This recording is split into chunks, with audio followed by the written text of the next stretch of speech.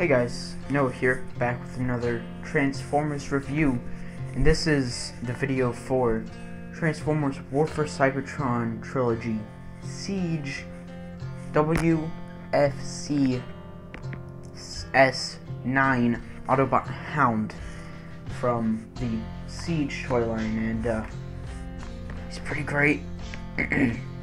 this figure, uh, but before we get to the actual figure, we gotta go to the box, and uh, it's a pretty good figure. You can see my forehead in the reflection there a bit.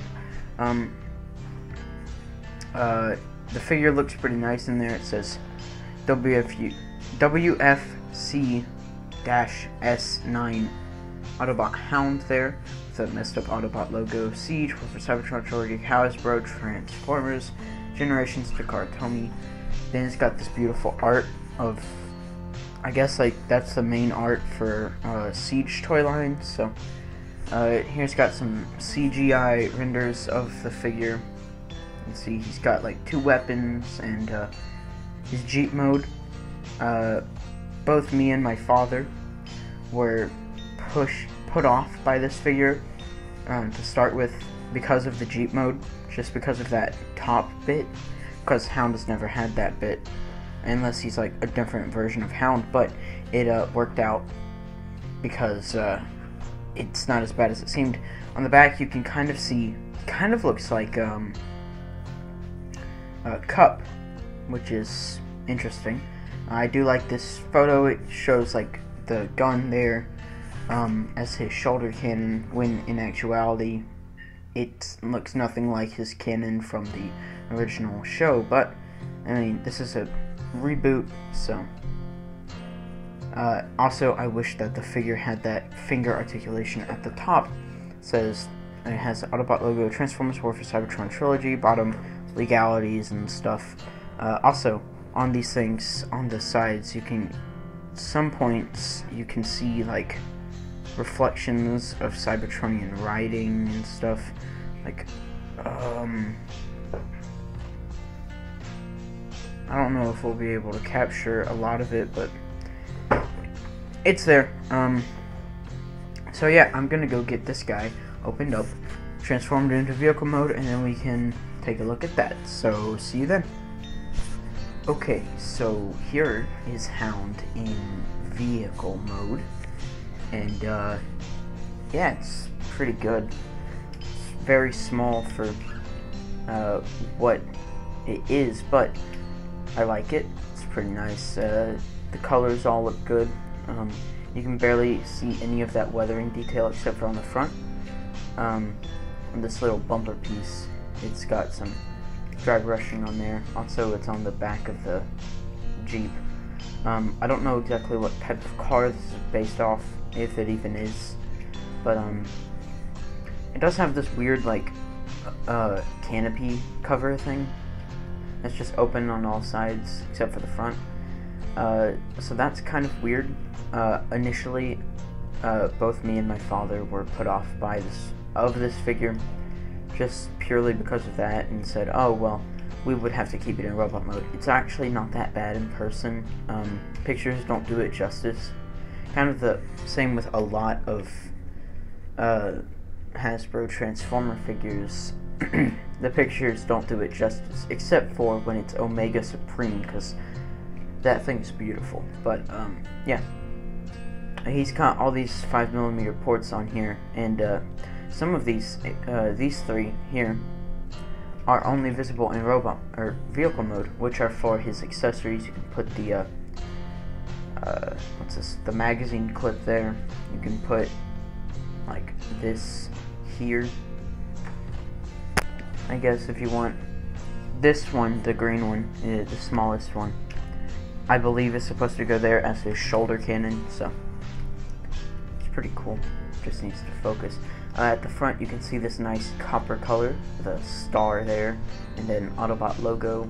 Uh, copper color continues onto the side. The lights on the front are painted nicely. The undercarriage, you can see his face, but that's okay. You can't transform it with it turned around. So uh, the copper color is under there too. More copper and some tail lights and brake lights and other stuff. So yeah, um, we are going to get this transformed, and I just need to move the camera down after we do a bit of some size comparisons. So let me fix this camera. Also, one thing I wanted to mention was that uh, the instruction manual here is folded very crisply and uh, not like Lego instruction manuals. So, anyway, here he is next to a one of the smallest Autobots I have in my collection. Some Generations Bumblebee, who I found out scales pretty well with the Siege line due to like the scale line of um, the original toys. They look pretty good together. Uh, they're both based on like Cybertronian designs, I believe. Except for he looks more like a actual Earth mode car. But anyway, um, so let's take him out and put him next to another supposedly Earth mode car uh, Hot Rod, along with Firedrive, who I put up there on accident. Uh, they look pretty good together. Of course, they aren't in scale. A Titan Master cannot fit in. He can't. A Titan Master can fit in, inside of there, but there's no way to seat them securely. So, uh, but yeah, uh, they look pretty good together. Um, also, I painted Firedrive to match Hot Rod and also to be more consistent with the head color. So anyway, um, yeah, they look pretty good. Uh, Hot Rod is longer. I think he's he and Jazz are two of the longest modern Transformers. Just because stuff like he's his hood is like half as long as this guy. So then, speaking of Jazz. Here he is next to Power of the Primes Deluxe Jazz. Can see, again, Jazz is very long, uh, about half as long, 1.5 uh, times as long as this guy. So, yeah, Jazz, uh, they look cool together. Uh, Jazz is based on an Earth mode vehicle, um, but I like to fudge them into like uh, Cybertronian ideal uh, ideas. So yeah, and then last, certainly not least, there is Siege Hound next to Siege Optimus. Now let me just take the gun off real quick. So yeah, uh, Optimus does not scale very well as a truck with other vehicles from the line. He does work with like Legends class vehicles like Bumblebee here. So, um, but yeah, uh, these two look pretty good together. Mm -hmm. Yeah, Optimus again 1.5 times as long, just because he's a very long truck. Uh, yeah,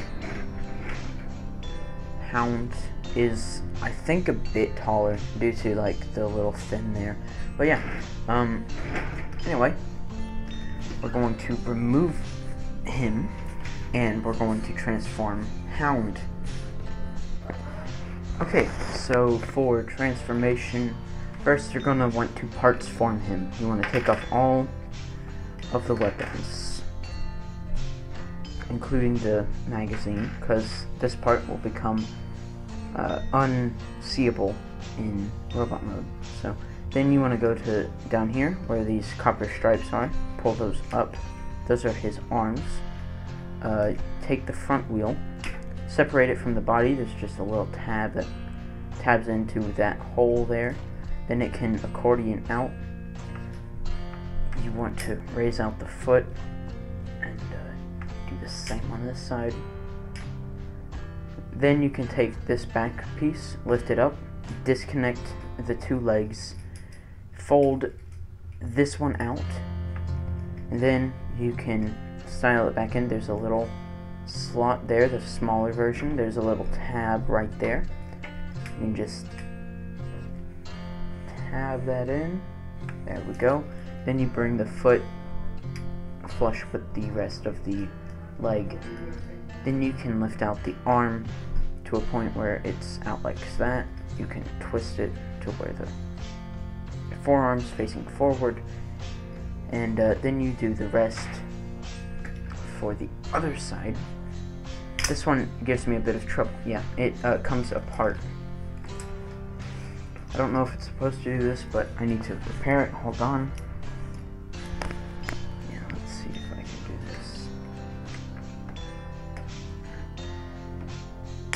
First try. So then you put it into there.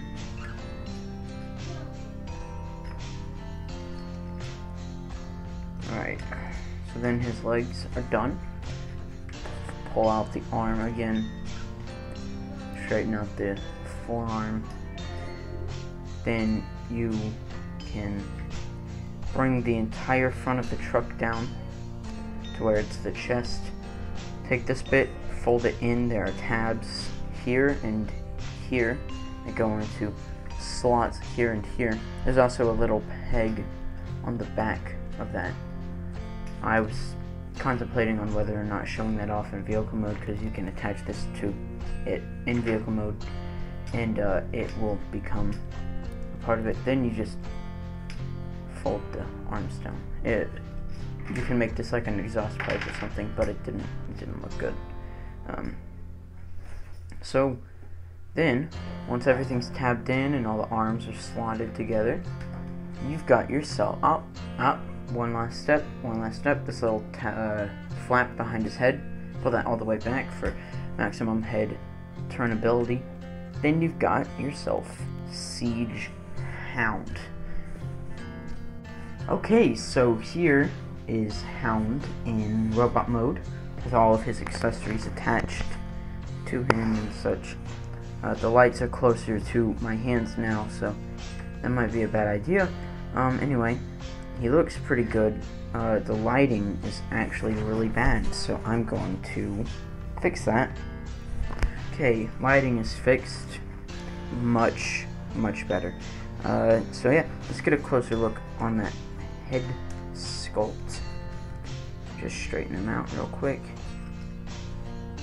For some reason, um, I hate having a cat. That okay, let me start over. I don't like having a cat because he sheds a lot, and um, for some reason this figure picks up a lot of hair. So let me just raise up the camera a bit so as to you can see him. There's him's face, and uh, it's pretty nice. I like his boxed head design. This version of Hound has always been like one of my favorite Transformer designs for G1, just because he's so I am robot design, because he's like all squares and stuff. Even his chest is a square, so. But yeah, uh,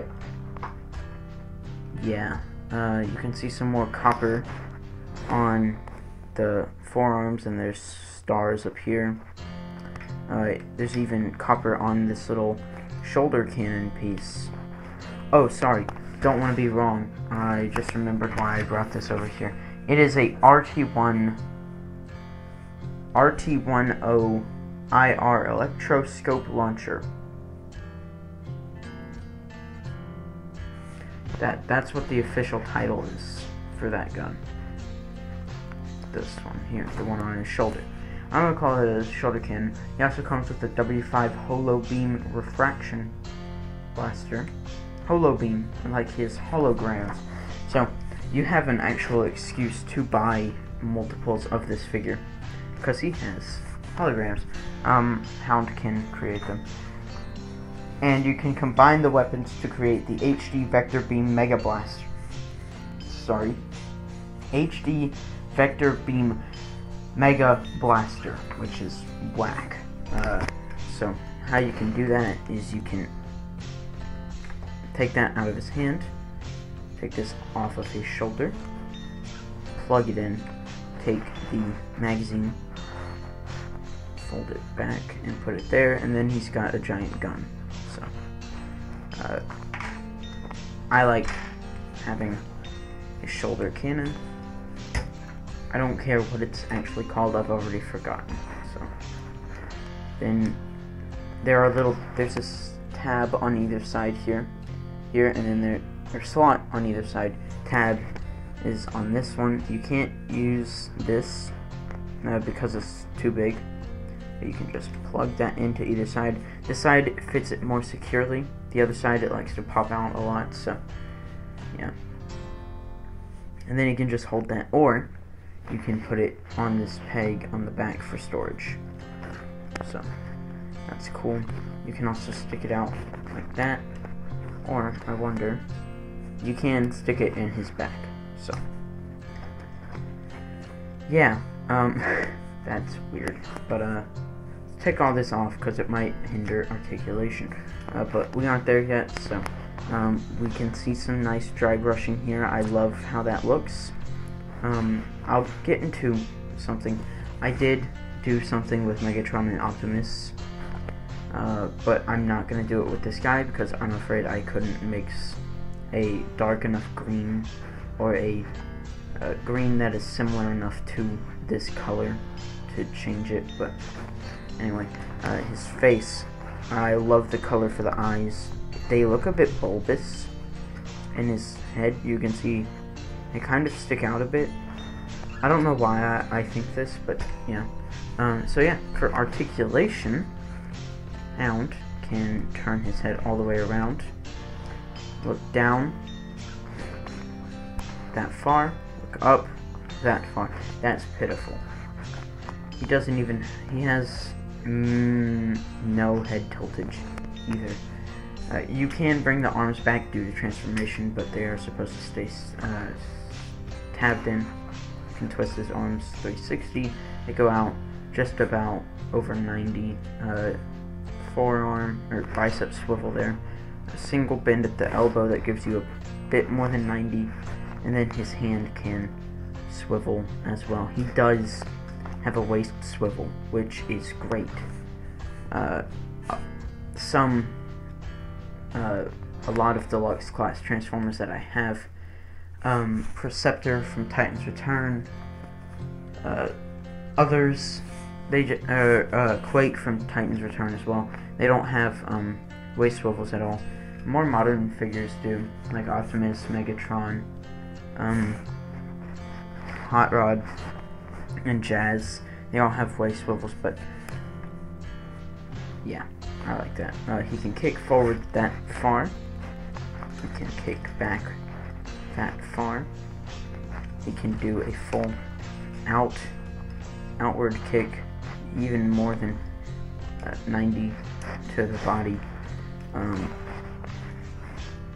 sorry, uh, he can bend his knee a lot, but at the course of probably stressing that plastic, so I'm not going to do that. Um, there is also a inner thigh swivel, and then he's got a ankle tilt there, goes down a lot, and then you can classify this as a point of articulation. He does have some toe articulation there.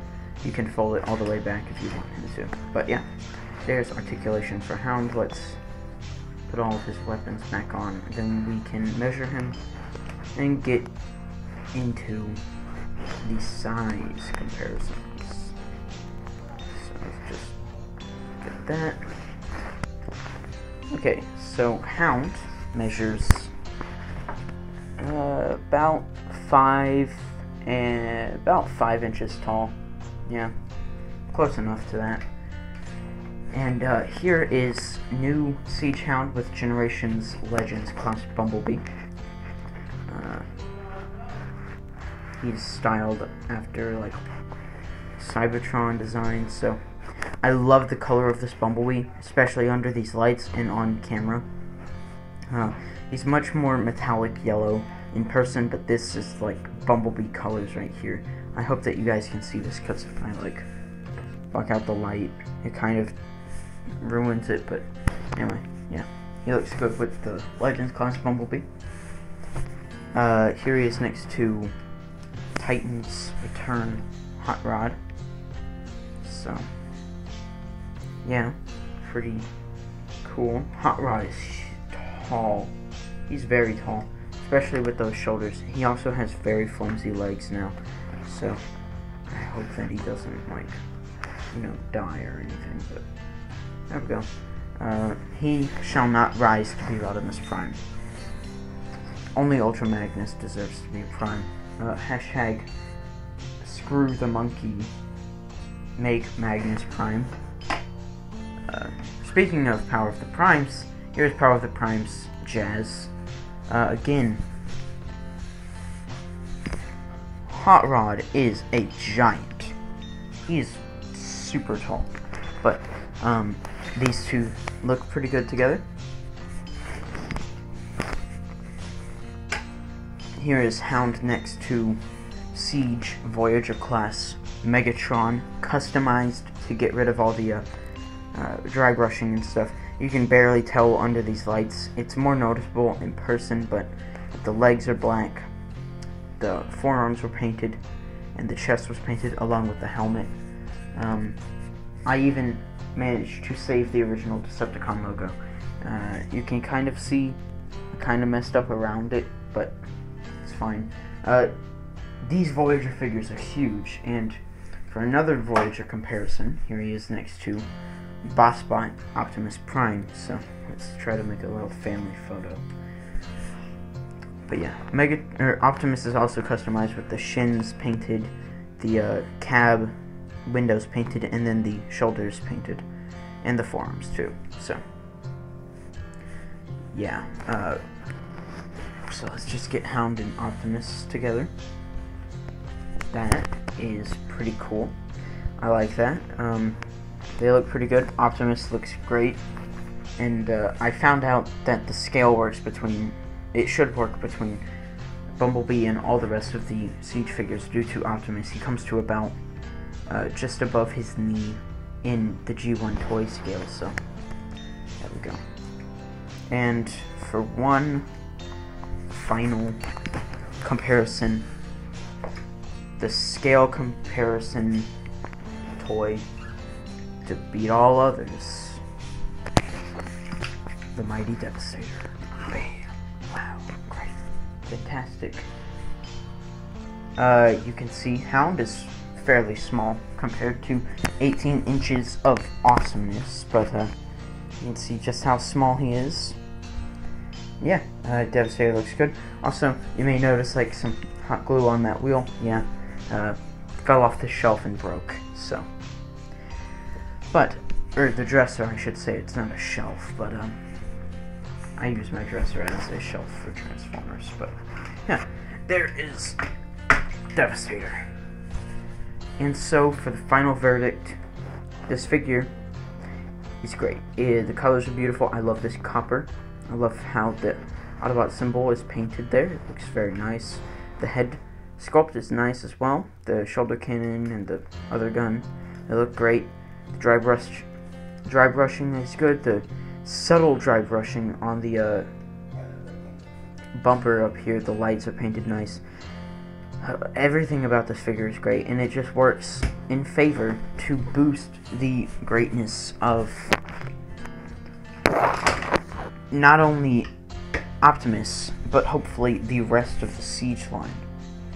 Because I plan on eventually getting a lot more of these figures, such as like Prowl and uh, Ironhide and maybe Six Gun, maybe Ultra Magnus, but I know that I definitely am going to try to get Springer, um, Omega Supreme, Starscream, uh, what's his name? Uh, Shockwave, and uh, like the other one, the Soundwave. Yeah, cool. So yeah, Hound is great. Complements Optimus, Megatron, other figures very well from past lines. Doesn't even have to be Siege.